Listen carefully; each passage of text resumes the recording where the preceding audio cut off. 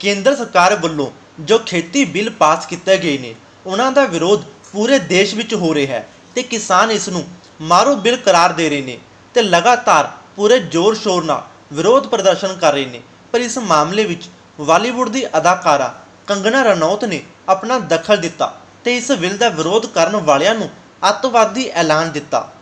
ਇਸ ਦੇ ਨਾਲ ਹੀ ਪ੍ਰਧਾਨ ਮੰਤਰੀ ਮੋਦੀ ਦੀ ਵੀ ਕੰਗਨਾ ਰਣੌਤ ਵੱਲੋਂ ਹਮਾਇਤ ਕੀਤੀ ਗਈ। ਹਾਲਾਂਕਿ ਕੰਗਨਾ ਅਕਸਰ ਹੀ ਆਪਣੇ ਬਿਆਨਾਂ ਕਰਕੇ ਪਿਛਲੇ ਕੁਝ ਸਮੇਂ ਤੋਂ ਸੁਰਖੀਆਂ ਵਿੱਚ ਰਹੀ ਹੈ, ਪਰ ਹੁਣ ਕੰਗਣਾ ਦਾ ਹਰ ਪਾਸੇ ਵਿਰੋਧ ਹੋ ਰਿਹਾ ਹੈ ਤੇ ਹੁਣ ਐਨਐਸਯੂਆਈ ਵੱਲੋਂ ਵੀ ਕੰਗਣਾ ਰਣੌਤ ਅਤੇ ਮੋਦੀ ਦਾ ਪੁਤਲਾ ਫੂਕ ਕੇ ਵਿਰੋਧ ਕੀਤਾ ਗਿਆ